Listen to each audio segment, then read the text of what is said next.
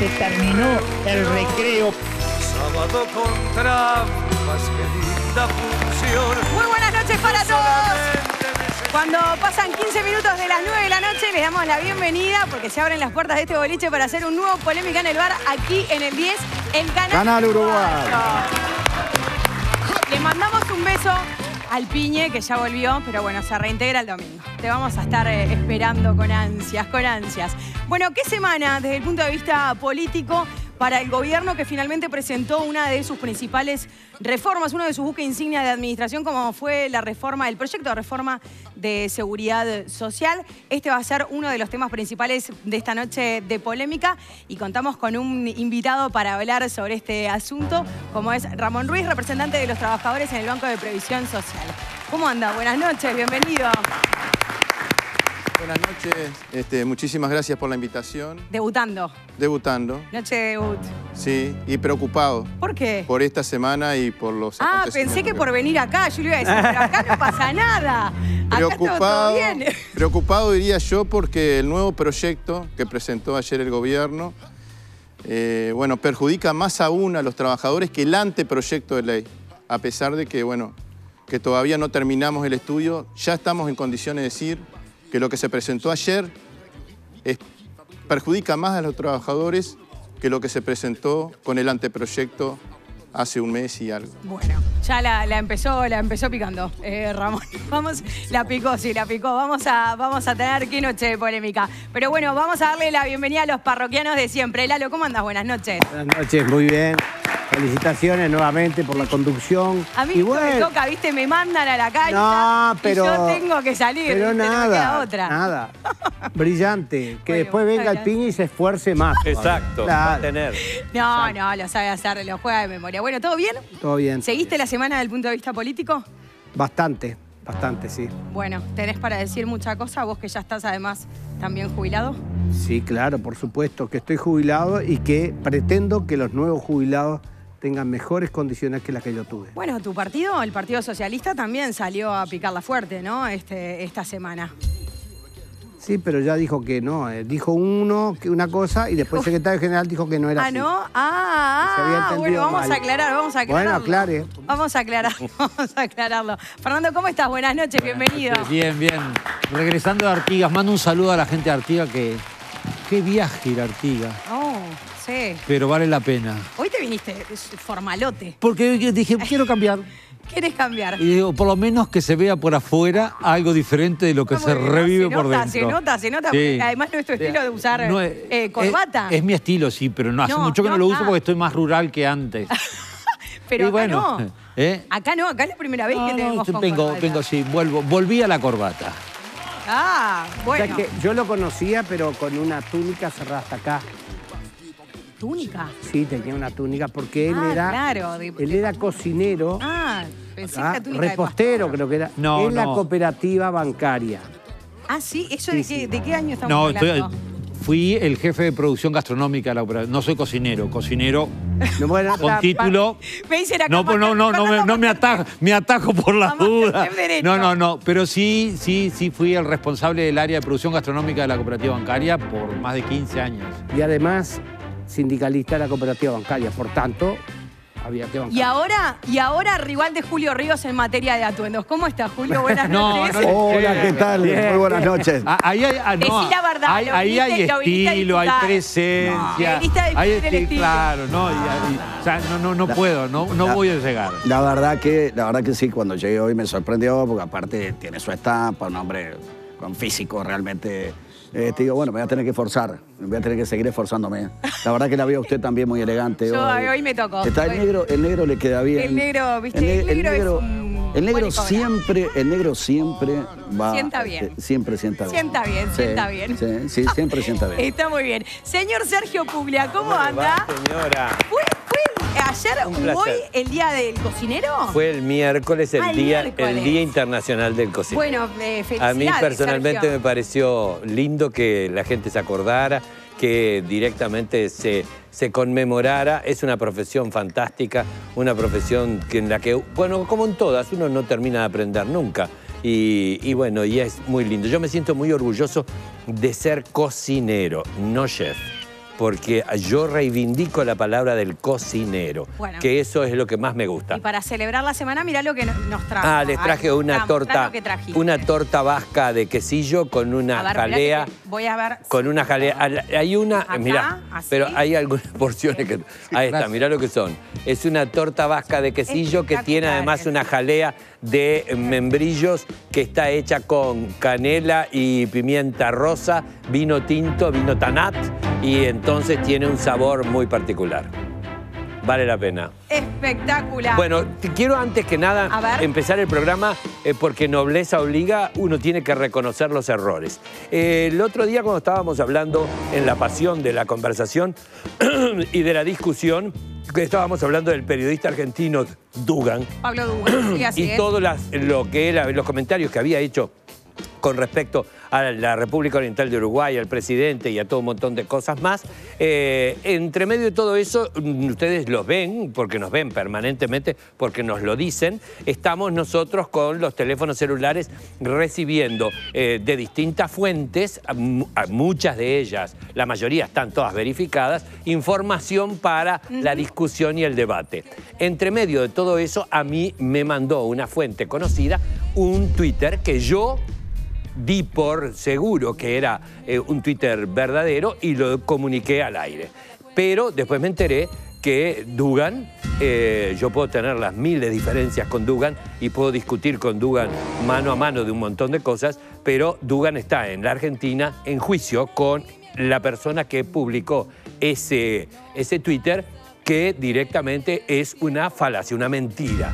Y además de todo eso, una cosa es meterse con el personaje y el periodista y otra cosa es meterse con su familia. Así que desde acá yo les digo a ustedes que lo que leí es mentira y le pido a Dugan las disculpas del caso. Muy bien, Muy muy bien. bien. Bueno, vamos a brindar, ¿eh? Vamos a brindar precisamente por lo que pasó esta semana, por la semana eh, de lo que fue el- la semana del cocinero, ¿eh? Y del chef. Y vamos a hacer un brindis por adelantado, porque el próximo 26 de octubre, día de mi cumpleaños, por cierto, es un día muy especial. Upa, vamos a tener que Eh, festejar. para ¿eh? Vamos a- cambio de década, espectacular. Festejo doble, pero Los bueno. 40 jóvenes años, No, qué lindo, voy a levantar la no, copa. señor. 40 jóvenes años que lamento. aparte los lucís espectacularmente, con elegancia, Yo con simpatía, con fineza. 40 años que esperemos estar invitados por lo menos para tomar una copa. Felicitaciones por adelantado, Patricia. Tengo, tengo, todo, tengo todo eso que vos decís y más, pero no, te, no llego a los 40 todavía, Julio. Lamento decepcionarte, voy a cumplir 38. Bueno, mira, hay tanta cédula falsificada en la No. vuelta que no sé. No, la mía no. No, La no me da tuya seguridad. sí. La tuya- Ah, la no te voy a pedir sí. la cédula porque en este Pero- momento está complicado. el No, tema. no le pidas. eh, En todo caso, astesiano alguna. La ¿eh? sé. No le pedís alguna de esas que te consiga. historia. Pero bueno, el próximo 26 de octubre es un día muy especial, como les decía, porque se celebra el Día del Enólogo. Y qué mejor que celebrarlo con este Don Pascual Selección del Enólogo. Un vino único y especial como quien lo elige. Hoy vamos a brindar y vamos a felicitar a Adriana Gutiérrez. Ella es enóloga eh, principal de la bodega de Don Pascual, una referente en su área, siendo una de las enólogas más importantes de Uruguay, con más de 25 años en la industria, una mujer de perfil bajo, no se la conoce mucho en los medios, pero les podemos asegurar que tiene un gran carácter. Don Pascual, para ser primero, hay que tener carácter. Don Pascual es puro carácter. Así que bueno, hay regalito. ¿Cómo no? Tenemos regalito. Por supuesto. Yo voy a aprovechar, le voy a mandar Ay. un beso por adelantado Buen dos Pascual. a un querido amigo, Bueno, Martín, gracias, eh, por Martín favor. Viciano, que también es, es enólogo. Así que bueno, para celebrar con todos los enólogos. Ay, sí, porque no vamos a estar al aire. No vamos a estar al 26. aire, por Así eso. que hay que saludar a la más grande de todas las grandes, a. Madame, a Madame Tanat, la señora Estela de Frutos. Ah, bueno, perfecto. Te- tenemos amigos enólogos por todos lados. Y bueno, porque somos borrachos sí, viejos. sí, en eso tenés razón.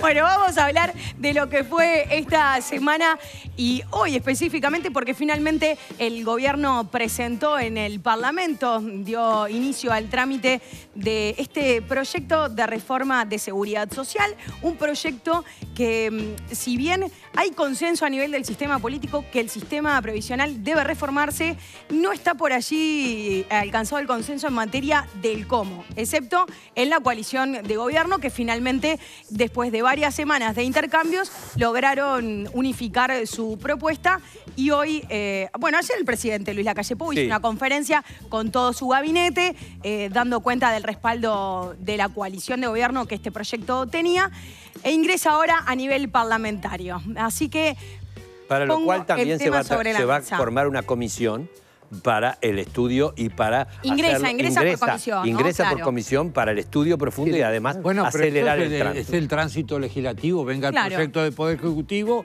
o venga de la sociedad civil. O sea, Recordemos el que tránsito esto- legislativo tiene que hacerse Ahí va, exacto. el procedimiento. Exacto. Recordemos que previo a este, a este proyecto que se presentó, eh, hubo un, ante, un, un anteproyecto Sí. que fue el que el propio presidente Luis Lacalle Pou llevó Al al Frente Amplio. el Frente Amplio y que previo a eso, eh, ese documento se había elaborado en base a los insumos de la Comisión de Expertos, que sí fue con eh, técnicos eh, no solo eh, del gobierno, pero también de la oposición, de la sociedad civil, de la central de trabajadores, en fin, fueron muchos meses de trabajo. Antes de entrar al tema Sí. del fondo, Patricia, si me permitís un minuto, digo, he, he estado repasando también, y, y este es un tema, el tema previsional, complicado a nivel mundial, por una cuestión elemental de sentido común.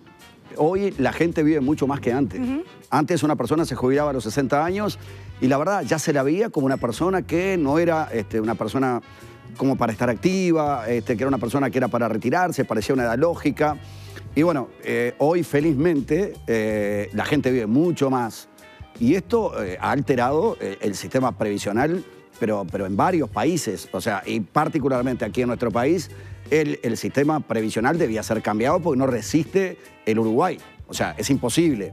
Esto arranca, para, para darle un puntapié inicial, arranca con, eh, este, con las personas eh, de 73. A ver, esto. Nacidas en el 73 Nacidas en, en el adelante. 73. Después, o sea, esto fue, eh, hubo modificaciones, ¿no? En un principio eh, se, había, se había hablado de una fecha. Bueno, de ahora en más, lo que está claro es que se va a hacer una transición. Correcto. En caso de aprobarse, ¿no? Se haría una transición. Transición. Claro, para eh, que las personas eh, mayores de 60, a partir de los 65, este, se, puedan, se puedan jubilar, pero para los nacidos a partir del 73. 73. ¿no? Que antes se había, se había Al 67. Manejado otra fecha. ¿no La cierto? fecha de 1967. Bueno, eh, Ramón, ¿a ustedes qué les parece, eh, a usted en particular como representante de los trabajadores en el Banco de Previsión Social?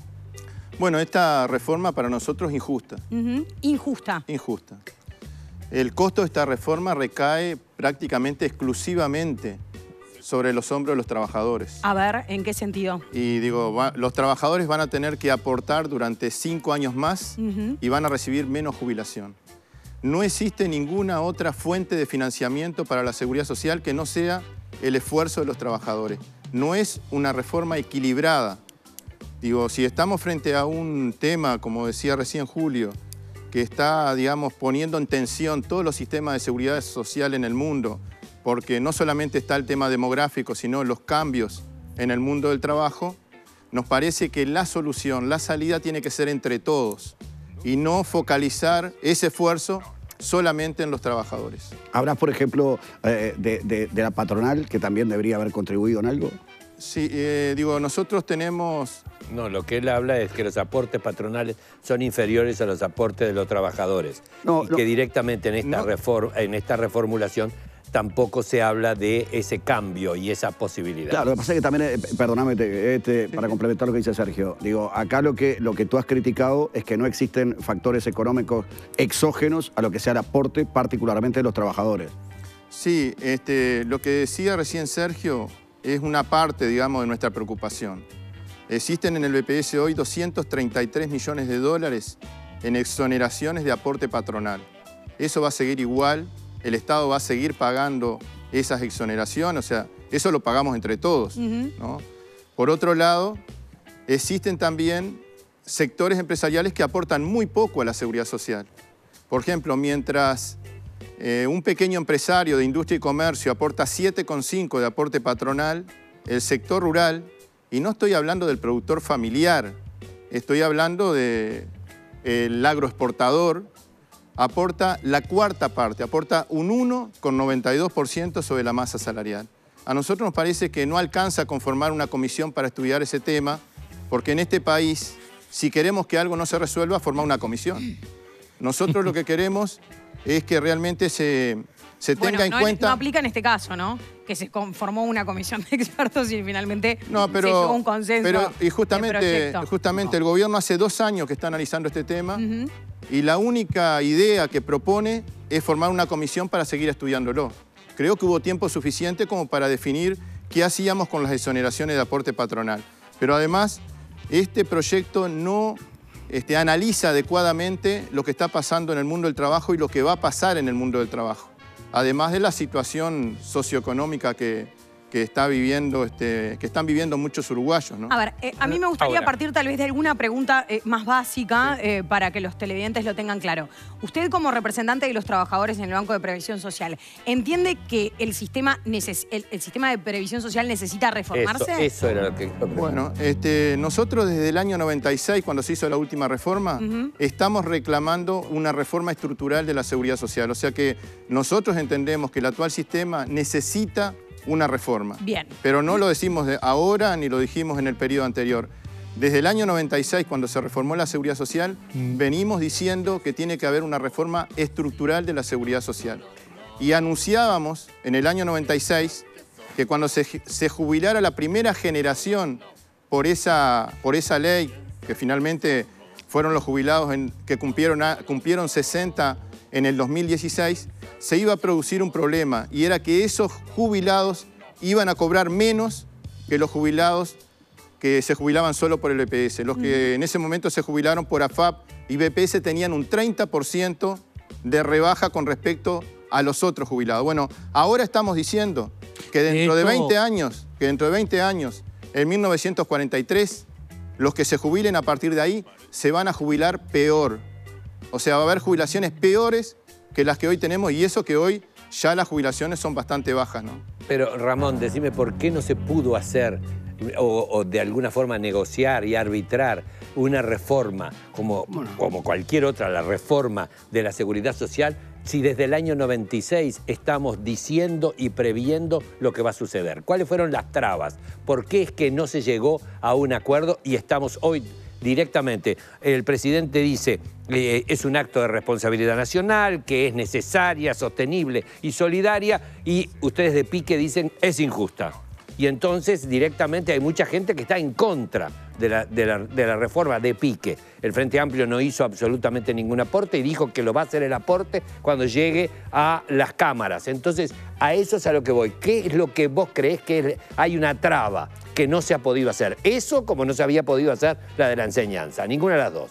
Sergio, eh, cuando se aprueba esta reforma, los trabajadores nos hicimos una autocrítica porque no logramos en ese momento convencer a la mayoría del pueblo uruguayo para decirle que esa reforma iba a ser perjudicial para los trabajadores. La del 96. La del 96. O es. sea que los cuando, primeros cuando años... pasamos a las, vamos a hacerla clara, cuando pasamos a la SAFAP. ¿eh? y de hecho, todo lo que vos estás diciendo, y te apoyo, eh, en el, eh, cuando en el 17-18 se presentó la ley de los cincuentones, era para salvarnos un poco a algunos eh, de los efectos nocivos que los aportes propios, personales, por la SAFAP y las cuentas particulares eh, eh, generaban como daño. ¿Por qué? Porque precisamente quitaban responsabilidad a los aportes patronales. Pero yo me hago cargo de esos primeros años donde la representación de los trabajadores empezó a formar compañeros, empezó a elaborar una propuesta alternativa y quizás esos primeros años fueron años de aprendizajes y años de elaboración programática, digamos, para tener una propuesta alternativa. Pero luego de esos primeros años, a todos los presidentes de, de la República, a todos los partidos que gobernaron, le estuvimos reclamando esa reforma. Se la reclamamos a Sanguinetti, se la reclamamos al doctor Lacalle, se la reclamamos al doctor Tabaré Vázquez, al, doctor, al, Doctor al señor Vázquez. José Mujica y también luego a Tabaré Vázquez nuevamente. O sea que la representación de los trabajadores y el PCNT ha estado planteando que es necesaria una reforma de la seguridad social. Ahora, yo no quiero justificar a ninguno de los, de los presidentes que nombré o de los partidos que gobernaron, pero cada momento, cada periodo, eh, me parece que tuvo prioridades. Yo creo que eh, reconquistada la democracia hubo prioridades para consolidar la democracia, para fortalecerla. Bueno, en los 90 hubo otras prioridades. a principios del 2000, después de una crisis, este, se plantearon otras prioridades. O sea, a mí me parece que no hubo espacio desde el punto de vista político en cada uno de los periodos como para discutir una reforma integral de la seguridad social. Se necesita mucho diálogo y mucha voluntad política para avanzar en esto. Pero y creo que las prioridades. Pero taparon tuvimos- un poco este tema. Sí, pero tuvimos un periodo de bonanza donde había posibilidades de discutir y de conversar Bien. directamente y de ver cómo manejar esa situación. Lo dejamos después te Bien. contesto. Este, primero que nada, yo no he leído, por las dudas, lo que presentó ayer el presidente de la República. No, son 300 artículos. 330 pero- y pico de artículos. Mira, está bien, 336 podía haberlo leído. Podías. Podía, no, No, lo podía, leí. sí, pero- vamos por la duda que nadie me diga. de- Alguno lo haya leído y me diga, vos en esto, primero. Segundo, se está hablando de una reforma en, en torno a las jubilaciones y las pensiones. La seguridad social es algo mucho más amplio, más grande, más importante. Yo quiero decir, sí en el, entre el, en el periodo que estuvo el gobierno del Frente Amplio, no hubo una reforma como se está planteando, pero hubo una cuestión muy importante a los efectos de la seguridad social, pero muy importante. Pasamos, creo que algo así, puede ser que le pido a, a Ruiz que me, me- me- ayude, porque yo no, no, no manejo los números, me olvido, a los años no me lo permiten. Creo que algo de 900 mil aportantes trabajadores a un millón y pico durante la época del, del Frente Amplio. Es decir, se aumentó la cantidad de trabajadores y además se apretó para que todos se integraran a el BPS, a la seguridad social en general, porque eso también tiene que ver no solamente con las jubilaciones, sino también con los seguros de paro, con la- los seguros de enfer- enfermedad, las, las, este, las asignaciones familiares. toda esa cantidad de cosas que tenemos que tiene que ver con la seguridad social. Por tanto, yo lo que creo que acá eh, vamos, por un lado, de quien eh, ha sido sin duda quien ha llevado adelante esta comisión del gobierno, que ha sido el doctor Saldain, que tiene una, una visión que yo por favor tengo que respetar porque es un hombre que hace años que está en esto, Sí. pero que hace años que estoy discutiendo, que hemos discutido con él, que tiene solamente una fijación, que es decir, hay que trabajar más ¿tá? Porque ahora vivimos más. Entonces, si es porque vivimos más, bueno, vamos a trabajar más, está fenomenal. Pero no, el problema es por qué entonces no alcanza. Bueno, vamos a discutir por qué no alcanza. Entonces, no hay otra forma de aportación que no sea exclusivamente el aporte de los trabajadores y trabajadoras, que son los que aportan más. Y no habrá otra cuestión que puedan aportar las, las grandes empresas, ¿verdad? Que son, en definitiva, las que están teniendo grandes ganancias. Y yo voy a decir lo siguiente, voy a volver a insistir. Hace ya un tiempo lo dije en esta misma polémica y lo voy a reiterar porque parece que a veces... eh, en, este- en estos años de pandemia, donde se dice que todo el mundo perdió y que perdimos la inmensa mayoría, hubo muchos que no perdieron y, ganaron más de 6 mil millones de dólares que fueron a, los bancos y que salió para ahí, por acá. Y digo, y agrego más, agrego más. Si por tanto nos faltará solidaridad y hay que hablar de la solidaridad en general, no de, alguna, de algún sector. Me entero, leyendo el otro día, que en Ecuador están llegando empresarios uruguayos a invertir por 700 millones de dólares.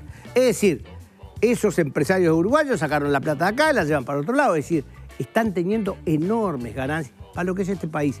Por tanto, si habrá que buscar las formas de que pueda aportarse de otra manera. La última, la última.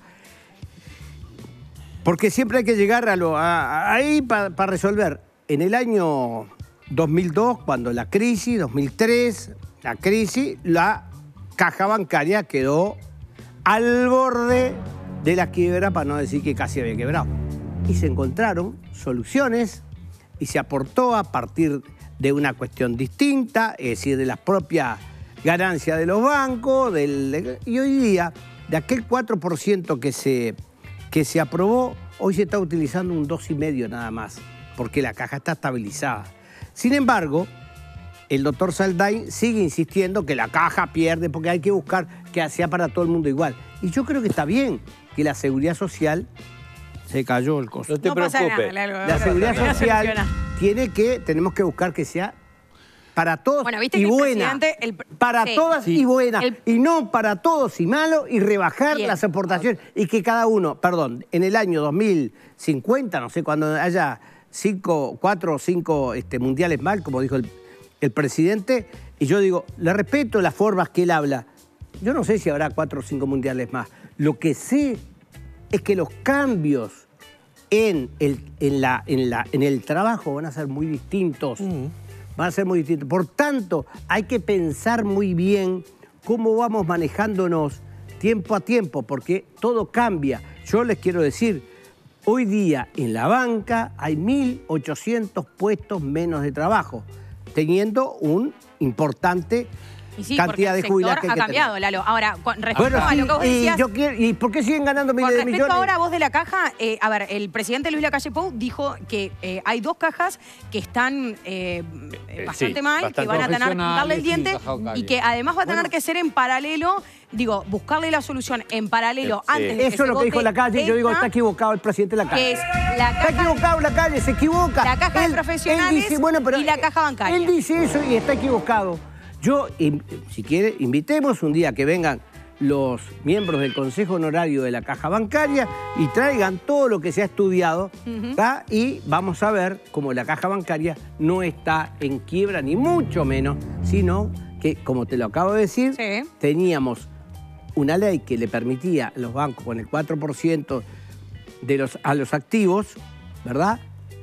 Hoy con el Bueno, por 2,5%. eso, a ver, yo creo Por que tanto, el que- presidente ayer se equivocó. Era lo que decía, era lo que decía al comienzo. Yo creo que hay un consenso, está claro a nivel de todo el sistema político que el sistema previsional tiene que reformarse. El punto es que hay dos miradas claras de cómo este Eh, bueno, sistema eh, hay tiene dos que, miradas claras porque son también dos modelos de país. Sí, claro, son, Sí, pues, son eh, dos eh, eh, formas eh, distintas de pensar. Es verdad. Yo creo que, eh, a, a ver, ayer yo le- eh, leía, eh, con la palabra solidaridad me, me sentí conmovido, pero no existe la solidaridad sin justicia social. Y la justicia social tiene que ver con varias cosas. Tiene que ver con los beneficios que la sociedad te da y la responsabilidad económica, ética que vos tenés con la sociedad. Entonces, si hay eh, parte de la sociedad que se beneficia económicamente, tiene una responsabilidad social y es justo que eso se, se vea reflejado en aportes. No, no, no, no es la matemática 2 más 2 son 4. La justicia social tiene que ver con la equidad y la equidad tiene que ver con cómo manejamos el concepto de igualdad. Igualdad no es matemáticamente igual para un trabajador que hace ocho horas, para un trabajador rural, una trabajadora doméstica, un trabajador administrativo, un trabajador del Estado y alguien que gana... No, eh, está claro que en el marco de este proyecto que ingresa el gobierno, vale decirlo, ¿no? Es bastante extenso, es muy técnico, pero hay, por ejemplo, hay algunas consideraciones que se rigen por lo establecido a nivel de la Organización Internacional del Trabajo, Exacto. que, por ejemplo, los trabajadores de la construcción, que se entiende que no puede Patricia. estirarse la edad a 65, sino que se Eh, mantiene en otros márgenes, Estamos de acuerdo, sí. y así con otros Eh, Esos son eh, detalles, sectores. mirame, esos son detalles menores. La- No, yo creo cuando no te estoy haciendo lo hablando que de dice el texto, ¿no? detalles menores, cuando te estoy hablando... A ver. Sí, Fernando. No, Eh, perdón, puedo terminar. Sí. pues, de- detalles menores, porque cuando hablamos de responsabilidad social, los grandes capitales y los capitales que se benefician con los recursos que son comunes a todos, tienen que tener mayores aportes. Y el que más recauda también tiene que aportar en proporción. Y cuando eso no se da con equidad, y cuando eso no se da establecido, y cuando tenemos tantos, eh, tanta liberación de aportes, ¿por qué? Porque el capital muchas veces te hace hacer ese juego. Ah, no hay inversiones, si le quitamos aportes, menos inversiones. Bueno, tenemos que apuntar, y es una pelea seria, pero tenemos que apuntar a ser un poco más justos y equitativos. Ruiz. Eh, A ver, recién se dijo qué pasó durante los años de bonanza. Este, yo realmente lo que quiero decir es que eh, hay una- un relato equivocado sobre que no pasó nada durante esos años de bonanza. No, yo no dije eso. Bueno, yo creo que... Dije que no encontraron el punto y el equilibrio. Bueno, Había suficiente dinero en circulación como para poder pensar en una reforma y hincarle el diente y beneficiar desde el punto de vista de la solidaridad y todo lo que se habla de la solidaridad y la justicia, había como para poder repartir. Bueno, vale decir Porque que, crecimos, sí. crecimos a un 5% durante Permitime, muchos años. Sergio, permitime un segundo. Digo, creo que en ese periodo hubo una reforma paramétrica, no fue Mm. una reforma estructural.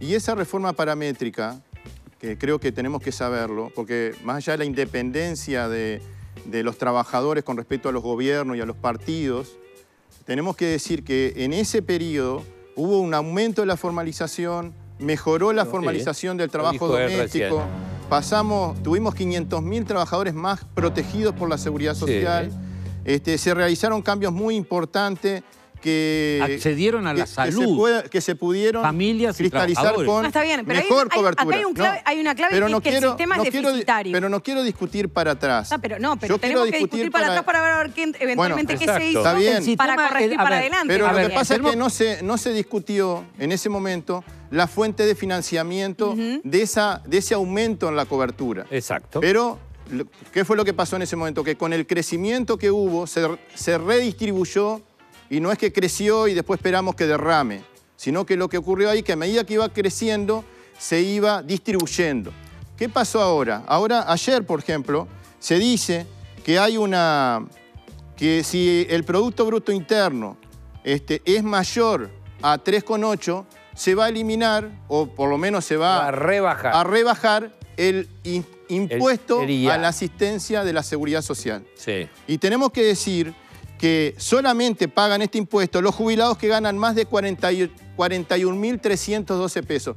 Yo quiero, esa es la cámara que, que me está enfocando, Sí. quiero preguntarle a los jubilados que me están mirando, si, a ver cuántos de esos jubilados ganan más de 41.312 pesos. ¿Saben por qué?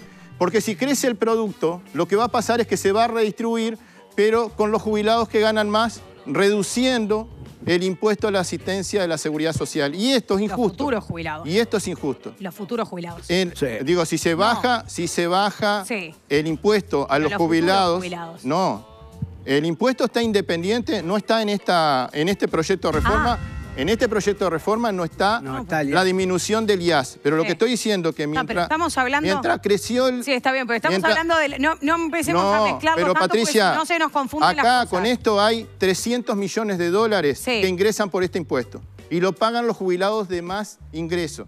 Si se rebaja esto vamos a tener más déficit en la seguridad social. Entonces, si estamos discutiendo el financiamiento, tenemos que saber que esta fuente de financiamiento, si se toca, alguien la va a pagar.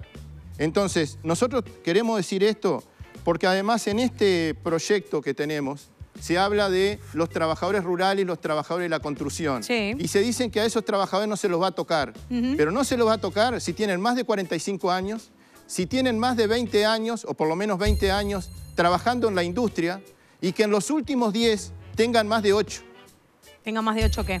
Más de ocho años declarado en la industria de la construcción. Sí. Y todos sabemos que de los 50 a los 60 años, a un trabajador de la construcción le cuesta mucho conseguir la changa y poder trabajar Y sostener. y sostener el trabajo. Por lo general, nosotros entendemos que más del 70% de los trabajadores no van a cumplir con estas condiciones. Entonces, no es cierto que los trabajadores de la construcción Pero y los perdón, trabajadores hoy en día los trabajadores de la construcción, para poner este ejemplo que usted pone sobre la mesa, ¿a, a qué edad en promedio se están retirando? ¿A qué edad se jubilan en promedio? De promedio, los trabajadores de la construcción, de cada 10, solamente 4 logran tener la causal jubilatoria común. O sea que tenemos un problema no, no, en el mercado de trabajo. hoy, Pero ¿a hoy qué en edad? promedio- ¿a qué edad en promedio se jubilan los trabajadores de la construcción? Bueno, de los trabajadores en la construcción no tengo el dato, pero en general el promedio de los trabajadores, acá no lo tengo, ¿no?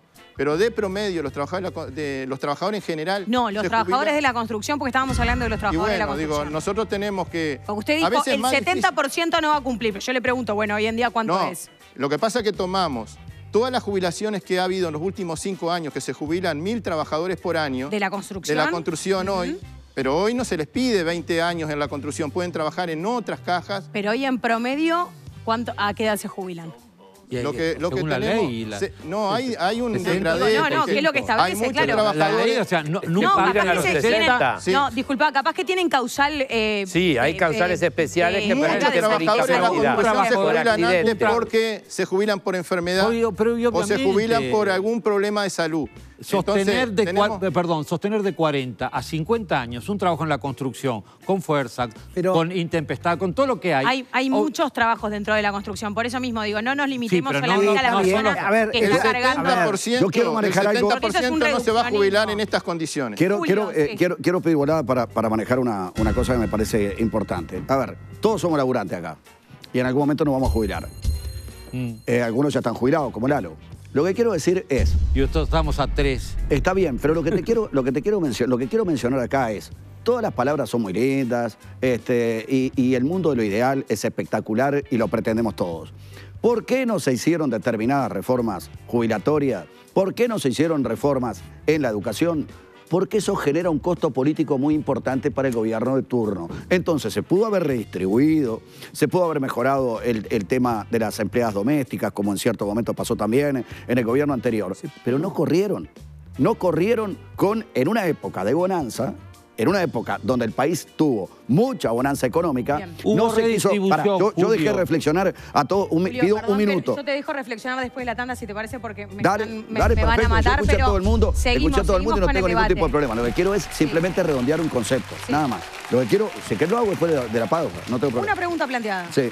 No, la pregunta planteada, lo que pasa es que también tengo que darle un contexto, digo. Eh, en este momento, eh, por supuesto, bien, si todo el mundo le dio un contexto acá, él le dio un contexto acá. Él le dio un contexto. Lo hacemos Lo después de la tanda, después. después de la tanda. No, Arranco contigo. eh, el resto maneja un contexto y yo tengo que venir. No, está muy bien, está totalmente. Ah, Apoyo, Vamos a apoyo a arrancar- Julio, apoyo a Julio. Pobre Vamos a arrancar con Julio, pero tengo un lío, En fútbol los contextos no haría nadie un gol, ¿eh? No, no. Bueno, es hora de que yo les dé un consejo a todos ustedes, porque tu corazón aumenta sus latidos cuando algo te apasiona. Por eso tenés que cuidarlo, para que siga latiendo con una intensidad eh, y que una enfermedad silenciosa no lo calle. No olvides consultar a tu médico por los factores que pueden ponerlo en riesgo. Una cardioaspirina al día contribuye a seguir previniendo eventos cardiovasculares. Tu corazón late con pasión. Cuídalo con cardioaspirina. Ahí está. Muy bien. Bueno, y ahora tengo otro consejo para ustedes, porque tienen que ir a conocer el trofeo original de la Copa Mundial de la FIFA presentado por Coca-Cola el próximo 29 de octubre en el Estadio Centenario. Sí, anoten, ¿eh? El Estadio Centenario el próximo 29. Podés conseguir tus entradas en Coca-Cola eh, de Coca-Cola de Uruguay.com.uy. Escaneando también el código QR ¿eh? de tu Coca-Cola, allí podés ver toda la información.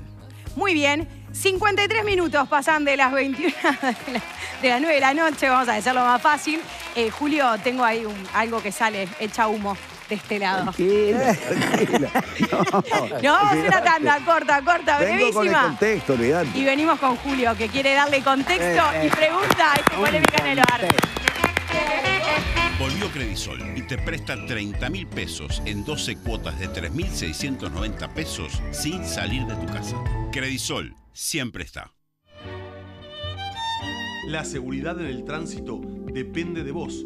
Es un mensaje de Bicon Implantes Dentales, Productos Sapolio y cubiertas y cámaras para motos y bicicletas Service. La humedad,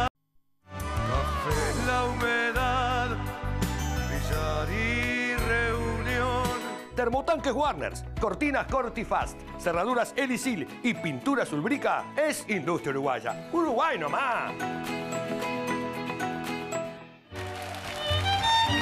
Pastas secas Marco Polo. Frío pan.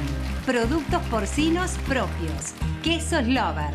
Buscá, elegí Industria Uruguaya.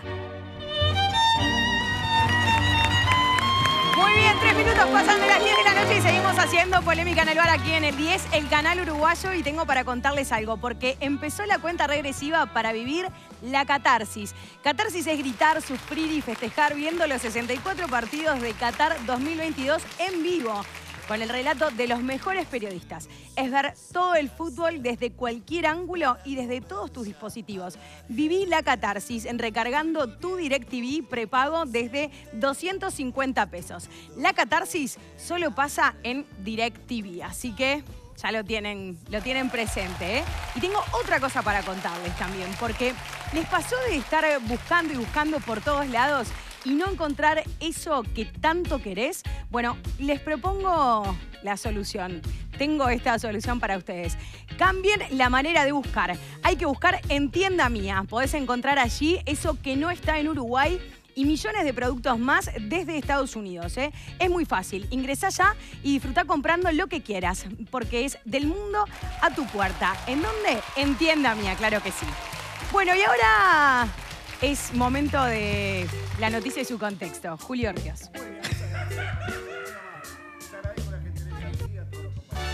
Te cortaron el micro, ¿sabes que estás teniendo problemas de micro. Ah, esto, la verdad, sinceramente, eh, esto ya a esta Es- altura Yo para que no digan que te estamos censurando. me están censurando brutalmente. Es Ya increíble. tenés, ya tenés audio, a ver, contanos. Ya tengo audio. Bueno, eh, el contexto que quería poner es el siguiente.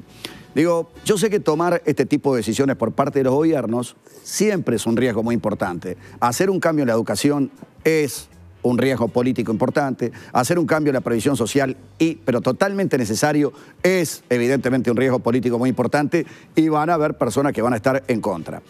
Eh, el BPS tiene aproximadamente entre jubilados y pasivos 600 mil con unos 600 millones de dólares. La caja militar, que ha sido uno de los grandes temas de discusión, 52 mil entre jubilados y pasivos, y necesita 500 millones de dólares. Ustedes tuvieron un técnico trabajando. La pregunta que hago es, si ustedes tuvieron un técnico que los representó trabajando en esta comisión, la pregunta es, ¿no le dieron bolilla? ¿Se sintió este, eh, outsider del tema? ¿Qué pasó? El compañero Hugo Bay, economista, fue el que representó al PCNT en la comisión de expertos. Pero el compañero Hugo Bay participó en nombre del PCNT, o sea, participó representando al PCNT. Teníamos reuniones tres veces por semana con Hugo, para que viniera a rendir cuenta y llevara la posición nuestra a esas reuniones. Pero los expertos que participaban por el gobierno o por los partidos que hoy están gobernando, iban a título personal. Entonces es muy difícil que haya un diálogo, por eso nosotros decimos que esta reforma no es, eh, no se construyó con el diálogo, se construyó con una comisión de expertos y eso no es diálogo. No es lo mismo recibir 200 delegaciones y después resolver que un diálogo social donde se discute, se propone, se acuerda, ¿no? Entonces, este, ahí, en cada una de las reuniones, nosotros propusimos cosas, pero no se reflejan las sustanciales y no quiere decir que todo lo que dice este proyecto está mal. Por ejemplo, yo estoy de acuerdo con que tenemos que ir hacia un sistema único de seguridad social, que tenemos que ir confluyendo, que tenemos que ir, le- le- tiene una palabra que este, usa mucho el doctor Saldain, este, y, y bueno, y tratar de, de que los subsistemas que existen en este sistema de seguridad social cada vez tengan cierta armonía, digamos, y tengan más o menos las mismas condiciones para acceder. Tiende a eso, ¿no? Seguro. O sea, el sistema va a... Sí, 20 años, pero la transición en la caja militar es mucho más lenta hacia esa transformación que los que va, que los trabajadores de la construcción, las domésticas, los trabajadores del comercio, del BPS. Nosotros, yo recuerdo que el día que se presentó el anteproyecto de ley hubo un programa aquí en polémica. Y se- en ese momento se decía, se repetía, mejor dicho, lo que decía el gobierno de que los salarios más bajos eran los más beneficiados con esta reforma. Nosotros presentamos este informe y demostramos que todos los trabajadores menores de 52 años, independientemente de lo que ganaran, perdían con esta reforma de la seguridad social. Lo demostramos y el doctor Saldain hace horas dijo, sí, en realidad van a tener que hacer de nuevo los números porque ahora cambiaron los supuestos, pero este informe estaba bien, este informe está bien. Ahora vamos a estudiar los nuevos supuestos y vamos a actualizar este informe para demostrar, y ya estamos en condiciones de decir, que esta reforma es injusta porque perjudica a los trabajadores trabajando más, aportando más y cobrando menos. Hay un tema que manejó Lalo, la última, eh, Patricia, hay un tema que manejó Lalo y estoy de acuerdo en eso. Eh, cuando se hace una reforma de esta índole, no se refiere únicamente a las jubilaciones. Eh, es mucho más amplio el tema que debería este, estar incluido en la reforma. ¿Ustedes piensan que eso quedó este, descartado por esta Nosotros, comisión? eh, te agradezco, Pila, ahora se usa mucho, te agradezco la pregunta, Julio, ¿no? Este, Un latiguillo que tiene el presidente de la República. Sí, te agradezco mucho la pregunta porque nos- recién yo me refería al diálogo, la importancia del diálogo. Los trabajadores queremos una reforma con diálogo, pero también queremos una reforma integral. ¿Qué quiere decir? Que no tiene que ser solamente jubilatoria. Nosotros hasta decimos, esto es un parche, porque deberíamos tener una, una visión integral de la seguridad social y dar una respuesta integral de la seguridad social. ¿Qué pasa con la cobertura que tenemos que mejorar de las personas con discapacidad? vivimos más, necesitamos más cuidados. ¿Qué pasa con el sistema de cuidado hoy? Y además eh, tenemos un problema gravísimo en la primera infancia. Ahora, Gravísimo. Entonces, Bueno. la reforma integral de la seguridad social tiene que servir para no solamente tratar el tema jubilatorio, que hay que atenderlo, para no solamente tratar el tema de la sostenibilidad económica y financiera, sino que hay que también buscar la sostenibilidad social de esta reforma. Y para eso hay que invertir más. Lo que se ahorre se tiene que invertir en la infancia, se tiene que invertir en los cuidados, se tiene que invertir en las personas con discapacidad. y eso depende de una Y no reforma. para rebajar el IAS. Y eso depende de una reforma. Estamos hablando de la reforma de la seguridad social. Eso ya está integrado dentro de la seguridad social. ¿Qué es lo que eso que tú, tú estás planteando? En este proyecto de ley que presentó ayer el presidente de la República, no hay ninguna medida que mejore el financiamiento de la seguridad social y no hay ninguna medida Ahora, que evalúe que el mercado de trabajo. Dijiste no que esa reforma es injusta. La de hoy, la que está vigente, ¿es justa? Ah, no, hay que hacer muchas cosas. Por ejemplo, no puede ser que un jubilado este, cobre una, una jubilación mínima de 15 mil pesos, 16 mil pesos. Claro que es injusta. Es injusta porque las empresas privadas que administran los fondos el año pasado ganaron 12 millones de dólares. Ese verso de que hay que sacarle a los que tienen mucho para repartir para los que tienen poco, dejémoslos de jorobar con ese No, verso. Julio, eh, Hay que, no, perdón, Julio no, perdón, Julio perdón. no, Me Julio está allá. ¿sabes lo Julio está allá. ¿sabes lo que pasa? Basta con No, esta no, no, historia no de es que un verso, la no, no, no, gente gastó, Tocas una fibra ganó. muy delicada. No es un verso, no es un verso. Es justicia social. Y la justicia social, ¿quién se beneficia más de, los, de las ganancias La del justicia social la puede ejercer el Poder Ejecutivo, el gobierno de turno, con los dineros que son Bueno, de todos. eh, eh, Pero ese verso de que me digas que hay que sacarle a uno para darle No, a no es otro, que no sacar, basta no. con Robin Hood. El que más se basta beneficia, con esta más debe aportar. Ver. Es tan simple como eso. Lalo. El que menos se beneficia tiene que tener más recursos, porque vivir con 15 mil no Pero sabe- yo no te digo que sea- no sea lógico. Con vivir, nadie puede vivir con 15 mil. Ah, pero menos que cuenta, busquemos, porque lo- bu- seguro que me doy cuenta. Bueno. Yo no soy bobo, ¿eh? Yo tampoco. Yo no, yo no soy bobo. Yo me doy cuenta que hay una situación de pobreza, que la pobreza está infantilizada, que se necesita invertir en todo eso. También me doy cuenta de que si hoy estamos frente a una seguridad social que es injusta y necesitamos desde el, 2000 desde el año 1996 una reforma y no la hemos hecho, entonces directamente hay que pagar el costo político y hay que empezar de una vez por todas. Y esta reforma va a llevar 20 años de transición y vamos a tratar de que los aportes que hasta ahora no ha hecho la izquierda las haga como para ver si podemos llegar a ese punto de encuentro. Bien, Esa es la historia. Y el puntapié inicial ya se dio. Mira, Sergio y Fernando, le- permítame, Lalo. Bien. Oh, Este, me cortó. Nos cortó la cara. la tiene.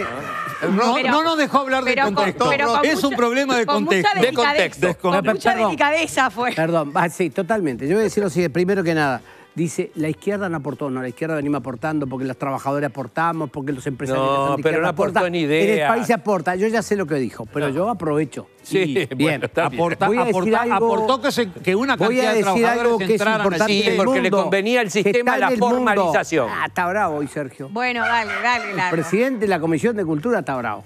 Este, quiero decir, en el mundo, la demostración de la caída salarial, la rebaja salarial, es el peor de los venenos. Si vos va cayendo el, la- el- el salario, hay menos aportaciones en la, en la seguridad social. Por tanto, la seguridad social no, es- no, no- no- no tiene salida, no es posible. Por tanto, hay que pensar también, y como a Sergio no le gusta, yo le voy a decir, que los empresarios tienen que empezar a pagar más.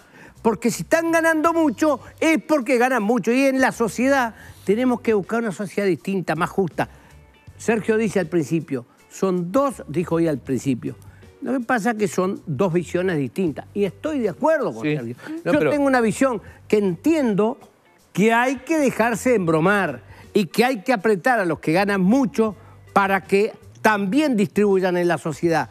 Porque además la sociedad precisa para que para desarrollarse, no solamente para decir, pa, que tenemos eh, eh, mucho pobre, tenemos que tener menos pobres. No, para que toda la sociedad pueda ir desarrollándose e ir creciendo. Entonces, yo digo, ¿hay formas de cambiar? Sí. No se hizo por parte del, del frente y ahora hay que hacerlo. Bueno, hagamos y que paguemos todos, como dice, hay que pagar entre todos el, El el costo político. político. El No, yo creo que no hay que pagar nada. sí, bueno. hay que meter para adelante. Metiendo lo siguiente, Sí. pensando en otros caminos que no sean exclusivamente los que se están planteando, que son que pague más este y que pague. Porque además, todos hablamos de que hay que mirar hacia el futuro. Si hoy día está apareciendo una cantidad de, de- de trabajo, que no es el trabajo común que teníamos todos, que había una fábrica con 2.000 trabajadores o 1.500, o lo va- cada vez hay menos y hay trabajadores independientes, que algunos aportan Ah, para el te- Uruguay. ese tema que estás tocando ahora, ese te- perdóname Lalo, eh, ese tema que acabas de tocar ahora es muy importante el tema de los trabajadores independientes, porque antes estábamos en relación de dependencia. Entonces, vos podés tener tres o cuatro empleos, pero aportás como patrón porque tenés una unipersonal y posteriormente te vas a jubilar con un salario mínimo. Bien, entonces yo creo que hay que pensar todo eso, porque hay muchos muchachos que trabajan a través de las, de la- de las cuestiones nuevas, que yo no las conozco bien, que trabajan con la cuestión este, a distancia, que trabajan en su casa, ¿tá? y que dependen de empresas, de varias, y hay que pensar el laburo ese en todo el mundo y nada más decir, no, dentro de 20 años, no, dentro de 20 años, Aldain, te estás equivocando. Ya hay no una le ley estás del dando, trabajo, el no trabajo. le estás dando. Ya se No aprobó le una- estás dando. Ya se aprobó una no le ley estás por el dando trabajo. justicia a lo que precisamos que es la seguridad social como tal. También hay una cosa- Para pensarla en general. Porque si no, siempre estamos. Bueno, lo que pasa es que hay que trabajar más porque ahora se jubilan con más. Yo voy a decir lo siguiente. Nosotros en la banca nos queremos jubilar con más. Los, ban- los banqueros no quieren. Te pagan más para que vos no te, no- para que te vayas antes. Igual, ¿Por qué? no tienen ¿Por qué más no quieren a trabajadores no tienen más veteranos? ban- ¿Por qué no quieren a jugadores veteranos? ¿Está? Ese es el tema. Y hace muchos años que Bien. pasa esto. Entonces, pensemos en cabeza general. Bueno. Y decir, el Uruguay, no, sí, el Uruguay. Pero miremos el mundo. En el mundo hay crisis, sí, claro, una crisis terrible ahora. Vale decir, pero hay que seguir viendo. eh, vale las decir, cosas permíteme, distintas. Fernando, vale decir que eh, invitamos para esta noche a Rodolfo Saldain, lamentablemente no, no pudo acompañarnos, pero bueno, nos faltará oportunidad para que venga, o eh, otro técnico, ¿no? Este, Patri- que Invítame, pueda, eh, caso, Patricia, porque quiero que me diga a ver si estos números están bien o no. eh, el- Invítame. lo que es la propuesta. Cuando venga eh, Saldain. Este proyecto de la. Lo tiene que hablar con producción. Yo acá defino poco, la verdad. no, no, Patricia, acá, anda, Pero- anda. No, pero, pero es cierto eh, que el proyecto está sobre la mesa eh, desde, el- desde que bueno, desde que fue divulgado ayer por el presidente Luis Lacalle Pou, que se está disponible en la web de presidencia para todos aquellos que quieran leerlo, ¿no? Y profundizar. acá, es un texto Patricia, bastante acá. complejo. Usted Ahí ya lo tiene, lo imprimió, este, hizo los deberes correspondientes. Ahora, eh, Sergio, tú hablabas del costo político, ¿no? Por allí lo mencionaste. Ayer el presidente en la conferencia precisamente dijo, eh, no lo vemos como un costo político desde el gobierno. Exacto. Creemos que eh, quien va a asumir el costo político, que va a tener un costo político, Es va a aquel que no apoya. Ahí va, quien no apoye. Y a esto viene a cuento de la posición del Frente Amplio, porque convengamos que hasta ahora lo que sí hubo un consenso a nivel de la coalición de gobierno después de negociar unas cuantas cosas. Cabildo Abierto y el Partido Colorado le habían Sí. hecho unas Algunas cuantas- observaciones. Unas cuantas observaciones, el Observaciones. Partido Independiente también. Lo importante es que el gobierno no siente que para él es un costo porque estaba dentro de su plan de gobierno. Claro. ¿no? La Estaba- reforma de la enseñanza y la, re- y la Ellos no reforma de la pagamos claro. nosotros. Ahora, eh, lo cierto es que mm, desde que tuvieron el anteproyecto La pagamos armado, todos. mientras se hacían las modificaciones, Todos. Nosotros. estoy hablando yo, muchachos. Perdón, No. perdón. Gracias por lo de muchachos y continuar. Gracias. Pibes, pibes. Este, pero bueno, mientras se hacía esta, esta modificación, lo cierto es que el Frente Amplio resolvió no hacer sus aportes, dejó esta instancia para, para las cámaras.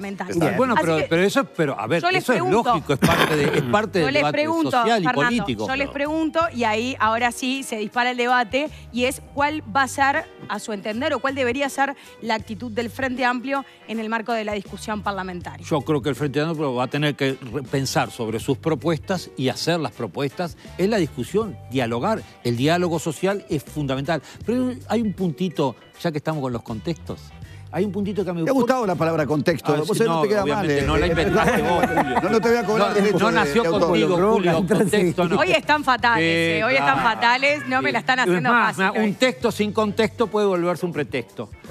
Ah, brillante, mirá qué lindo. ¿Eh? Se Y- piensa y- mucho y- para y llegar yo a creo eso. que razonalo. Eso, eso, re- eso razonalo, requiere razonalo, de mucho si no te pensamiento. No, te lo A digo no Uy, cae el una duelo fi- de las corbatas hoy Pero, están sí, oh, está bravo. fatales. Vamos a no, hablar de la cosa así. ¿Por qué, Sí, claro. por qué- por qué el- eh, este país, con tan pocos recursos, supo tener un sistema de seguridad social como el que tiene? Porque esa es una pregunta del contexto. ¿Y sabes por qué? porque desde el principio, desde, desde el, el, el vallismo de principio del siglo XX, la concepción de equidad y de compartir que había, de justicia social, habilitó y los que tenían más también aportaban más. Entonces no sé por qué nos asusta tanto ahora cuando nosotros mencionamos esto. Cuando nosotros digo, yo no me, no me, no me quiero poner una bandera política, sí me pongo una bandera de postura social. Pero hay una he sido un cosa que trabajador, vos, he- he que- que sido un trabajador toda la vida y he visto, y si, el- a ver, yo trabajo y aporto al, al- al país, ¿eh?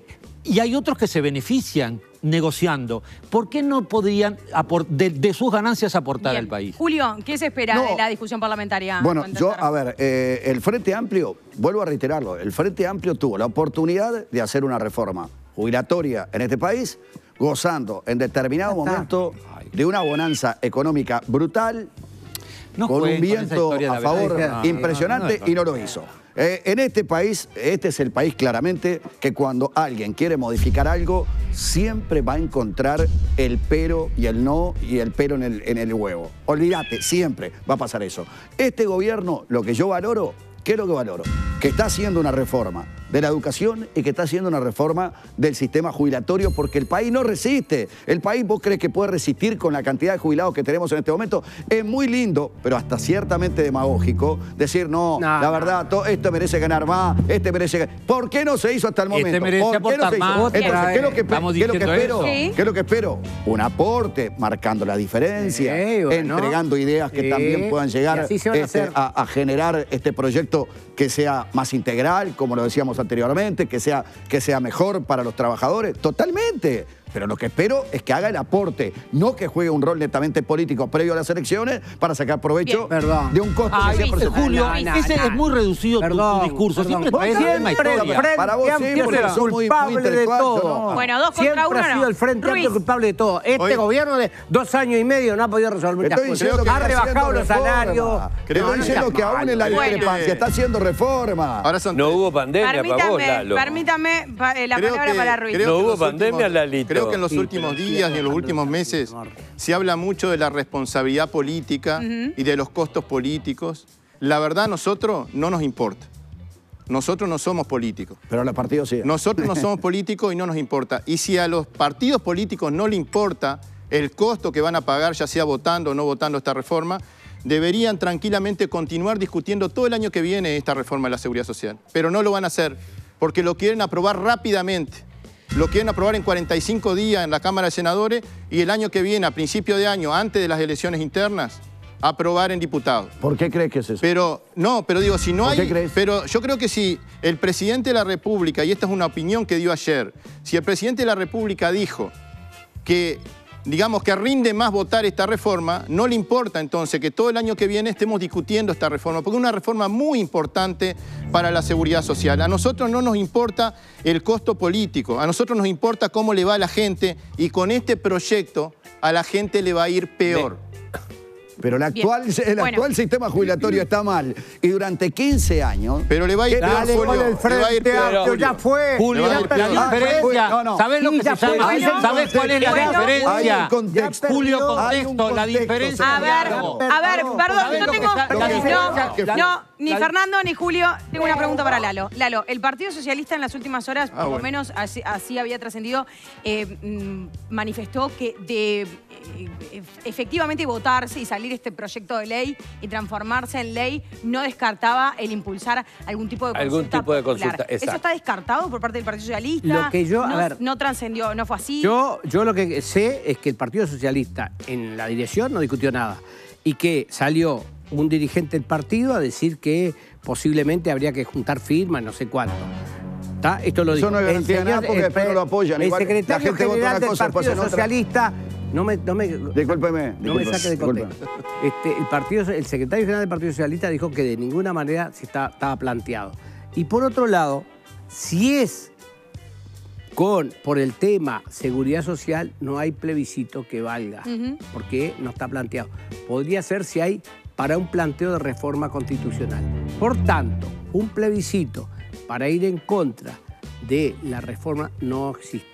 ¿Está? Por tanto, Bien. lo que dijo Sibila, que hizo, evidentemente, lo pasó por encima al otro compañero, que dice que fue mal interpretado por los periodistas. Bien. Como no podía ser. Vale decir una claro, ¿no? Sí. Echándole la culpa a los medios de comunicación. Como no puede ser de faltaba otra más. manera, faltaba más. Ahora, Em, yo me sí, pregunto, el Sergio. presidente fue en un acto de búsqueda de diálogo a presentar el anteproyecto y lo entregó en la casa Y un, fue un gesto muy bueno. Y fue un gesto muy bueno. Es decir, hubo un tiempo prudencial en el cual directamente el gobierno siguió trabajando en el Sí, anteproyecto para terminar en la negociación interna que tenía que hubieron hacer. modificaciones. Y hubieron modificaciones. Entonces, pero mientras hubo todo ese interregno de la entrega del anteproyecto hasta lo que pasó en el día de ayer, el Frente Amplio no hizo absolutamente ningún ¿Quién aporte. dijo? No, aporte no, pero debe haber estado Aporte, estudiando. pues debe haber estado Bueno, estudiando, pero podía estudiando haber para salido- discutirlo. Pero ¿por qué no, ya- aquel- por qué bueno, porque no un- fueron a plantearle al presidente, ya que el presidente estaba bordando conjuntamente con la coalición el, proyecto? ¿Por qué no dijo. fueron y golpearon la puertita Hoy se cruzaron. y le dijeron... No, no estamos así. No, no. No, se cruzó El- Fernando, eh, Fernando con, Pereira con con, el, presidente y Lila estuvieron Calle Pou. chucu, chucu, chucu, Sí, las- eh, eh, en- oído y con oído. En Santa Elena hubo una actividad sí, en Santa vinculada Elena. con la Posiblemente. Pero educación. digo, es decir, que esperaron, que ¿Ah, sí? esperaron ahora Lo que pasa es que el, el trámite parlamentario exige eso. Sí. El diálogo. Entonces yo creo Me que si, si el frente se tomó el pero lo tiempo podía para haber hecho pensar, antes. llegará Porque- el debate. Porque además ahí de alguna llegará forma debate que va a pasar. Por, va, va a ¿Qué pasar. quiere el Frente Amplio? Porque todavía no lo Pero sabemos. No enojes ahí con el Frente. Amplio, que te parece que te sale, te- se te van, te vas a poner más viejo, Julio. ¿De qué habla No, este? Julio, no, y Sergio. Bueno, por eso el que está el viejo. Dale. De Julio Bueno, ¿saben qué? No, ¿Saben es qué? Se terminó este tema. Quiero, contarles otra cosa. Quiero con- contarles otra cosa, porque en las últimas horas se viralizó un video eh, que muestra al ministro de Salud Pública, Daniel Salinas, haciendo karaoke por el Día del Funcionario Público. Vamos a ver, esto era lo que trascendió en redes. Ah, mirá.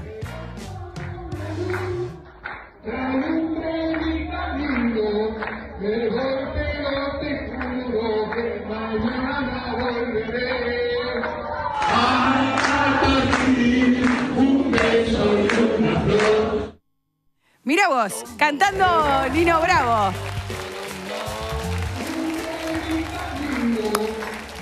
Ahí, ahí, ahí teníamos al ministro Daniel Salinas entonando a Nino Bravo. Qué temón, ¿eh? ¿Qué temor? Un temón, un temón, la verdad. si le hubiera- Y Gran- capaz tiene- que le hubiera cantado allá en la UPS, capaz que Pero le no hubiera desa- no desafinó. Por lo menos hay alguien que canta peor Está que yo. festejando Digo, la- a ver, está.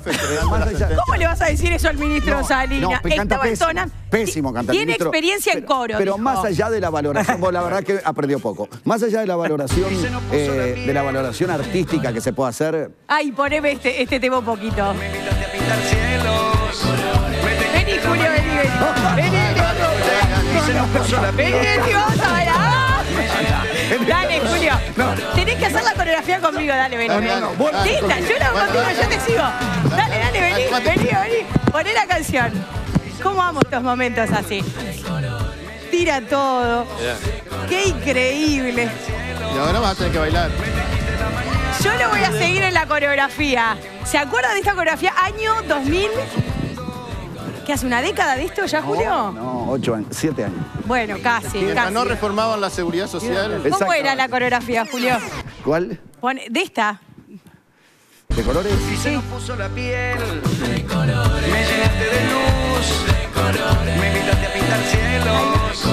Me tejiste la mañana. ¿Así? Ahí bonito. Te ofrecieron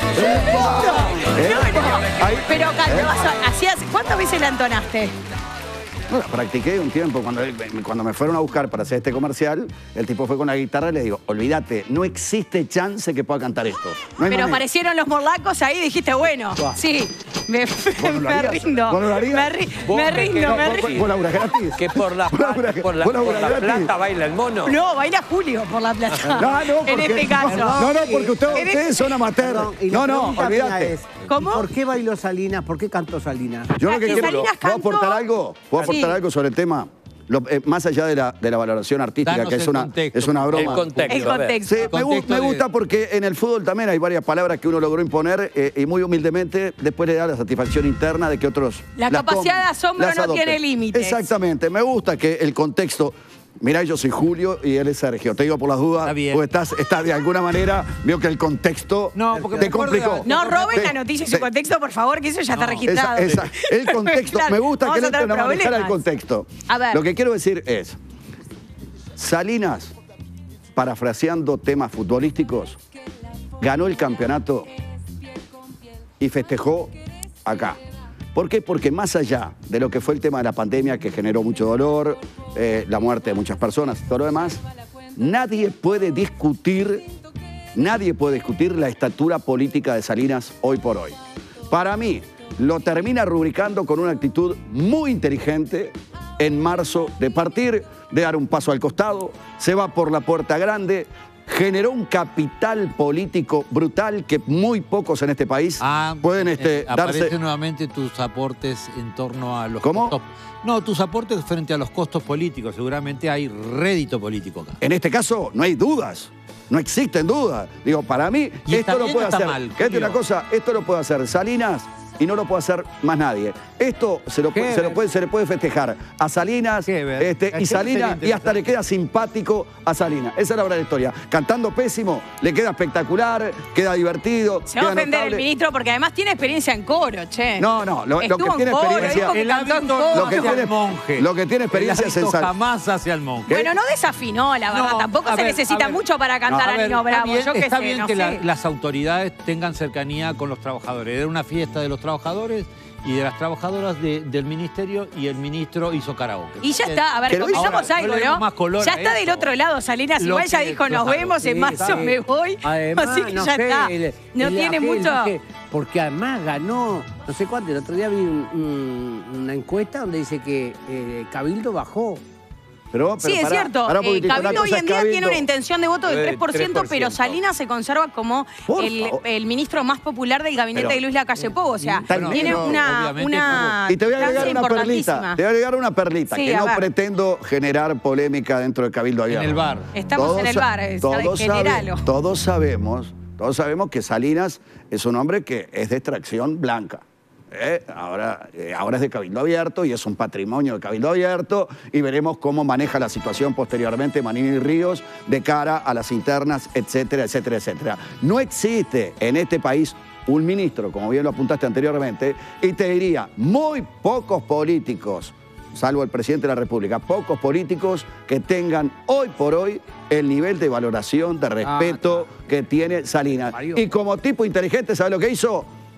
Me voy, gané el campeonato, me voy, no me quedo, no, ya está, gracias, muy amable, y después... Perdón, la inteligente fue la mujer de Salinas, la esposa de Salinas que le dijo, ya está, bastó, Bueno, vamos a dejar La mujer es muy inteligente si lo hizo. Fui yo que le La verdad, dije. sinceramente, Vamos a chapó descansar Fui yo que le dije, bueno, mi amor, ya está. Chapó Ya para la mujer, si hizo eso, chapó. Perdón, Chapó. acá tenemos a un miembro de la, de la Comisión de Cultura del Partido Nacional, que es de cultura sabe y de canto también, o sea, eh, por Yo lo no menos voy a como, valorar como oyente. absolutamente nada. Lo que hay que valorar es que este señor, que es indudablemente un señor en toda la extensión de la palabra, que ha desempeñado un trabajo excepcional, que eso lleva a que tenga la valoración pública que tiene, lo que hizo fue un acto de acercamiento, de intimidad con los empleados, con los eh, eh, Funcionarios, sí, del del ministerio. Van, Y claro. que, es decir, en los últimos tiempos estamos agrandando las cosas, tergiversando un montón de cosas y empezamos a valorar que en la letra de la canción dijo que se iba pero que va a volver y que entonces, entonces está ahí toda una cosa semiótica, interpretación. Dejémonos de pavada. Cantó regularote nomás, pero cantó y directamente, a pesar de la experiencia en coros, y directamente me parece que eso no empaña el trabajo que ha desarrollado excepcional. Yo tuve la suerte de poder estar conversando con él hace un, un tiempito y una de las cosas que me dijo era que estaba cansado, que lo que pretendía era, bueno, si salía lo del exterior, eh, irse al exterior y después jubilarse y seguir trabajando como médico. Bueno. Él quiere seguir, es decir, estando Sí. en, en su profesión a la que ama profundamente. Vamos a ver, capaz que por un tiempo. Bueno, eh, ya que estábamos hablando tanto del ministro Se Salinas, van a me- acordar del día de hoy. Me están diciendo por interno que lo, no, lo tenemos acá. Invítelo. Acaba de llegar. ¿Llegó? A ver, adelante, por favor. Ministro, ministro Salinas. Me gusta el contexto. Bien, Salinas. Buenas noches, ¿qué tal Patricia, querida? ¿Cómo ¿Qué tal?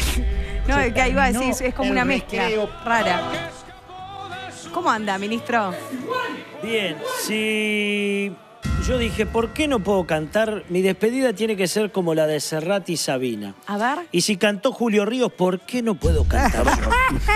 Eso tiene Parece, razón. parece Le doy la razón, le doy la envidia, el envidiómetro trepó a 8.5 dentro del estudio del bar, ¿eh? Así que a 8.5 está. Así que, si ustedes me permiten, quiero acá, vine con todas las enfermeras que están ahí afuera.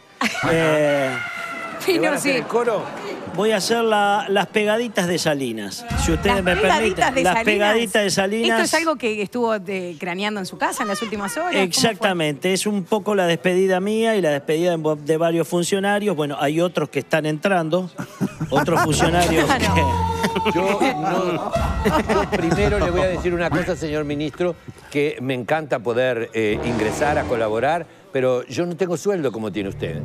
Bueno, ya lo va a tener. A mí no me votaron además. Ya lo va a tener. Usted No, a Salinas llegó- tampoco. a vot- bueno, pero a, A Cabildo- Salinas no lo votaron. votaron a Cabildo y entonces Cabildo forma parte de una coalición y usted fue convocado como médico de prestigio. Cambiemos de tema. Vamos a cantar. Bueno. ¿Le parece que cantemos? A ver. Así que se vienen las pegaditas de Salinas. ¡Música! Todos, a ver, ¿cómo dice? Al partir un beso y una flor, un te quiero, una care mm, y un adiós.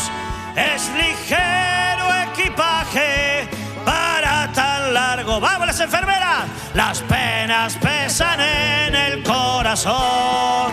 Todos con las chatas arriba. Más allá del mar habrá un lugar más. Forja, vamos con la otra, vamos con la otra. No desafinó. Adiós, qué lástima, pero adiós. Me despido de ti, me voy. Qué lástima, pero adiós. Me despido de ti. Vamos con la próxima. Toda despedida. Chau, chau, adiós. No. Quizás mañana estemos lejos, me arrepienta del chau, chau, adiós. Que la distancia nos separe de cabildo, la, la, la. Chau, chau, adiós. ¡Vamos con otra! ¡La próxima! ¡La próxima! Pusieron al sordo en el sonido. Adiós, pampa mía.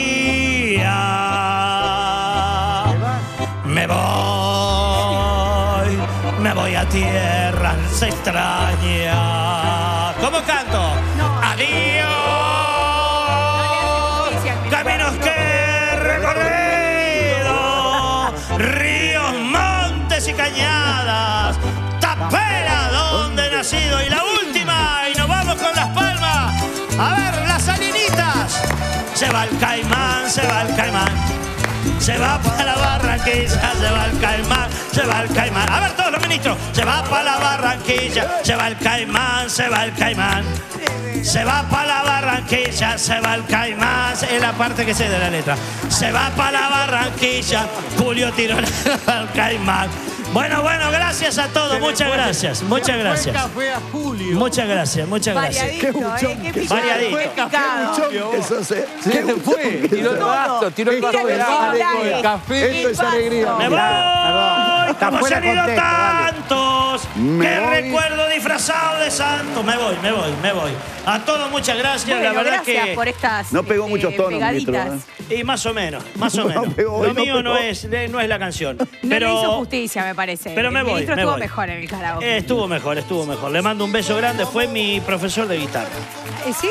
Sí, el ministro. No de Eh, Es que canto, no te olvides de que guitarra. eh, ¿En el es de San departamento de San José. Es del, departamento de San José. Como yo. Así que, buenas noches para todos, me retiro. Poneme la música que nos vamos cantando. Muy bien. Estrellas me Bueno, acompañarán. Bueno. Serás como una luz Muy bien. que alumbra mi camino. Me voy. Tremendo. Bueno, 38 minutos pasan de las 10 de la noche. La verdad que variadito el repertorio, ¿eh? Sí, sí. Variadito, variadito, variadito. Y yo tengo para darles un consejo a todos ustedes. A todos ustedes. No en este caso, no lo interpreten mal, porque no es para el ministro Salinas. Tiene sentido que quieras volver a disfrutar de la música, de los sonidos de la naturaleza, o por qué no de esas charlas en familia. Por eso tiene sentido que elijas Audical, porque en Audical son líderes en soluciones auditivas. Podés agendar una consulta gratis al 18899. Mirá. En Audical está la mejor solución para tu audición. Por eso somos líderes en soluciones auditivas. Audical. Tiene sentido que nos elijas. Teléfono 18899. Bueno, muy bien, hacemos una última tanda aquí en Polémica en el Bar y seguimos eh, al regreso debatiendo algún que otro tema de lo que nos dejó esta semana. ¿eh? Así que tanda, cortita y ya volvemos. Centel, contigo las 24 horas en todo el país con solo apretar un botón. Centel, probalo sin costo.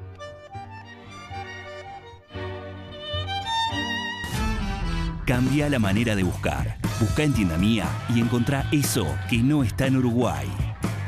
Tienda Mía, del mundo a tu puerta.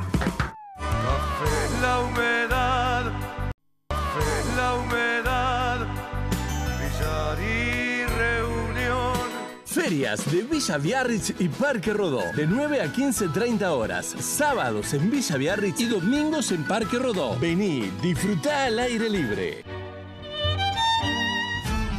Cambia la manera de buscar. Busca en Tienda Mía y encontrá eso que no está en Uruguay. Tienda Mía, del mundo a tu puerta.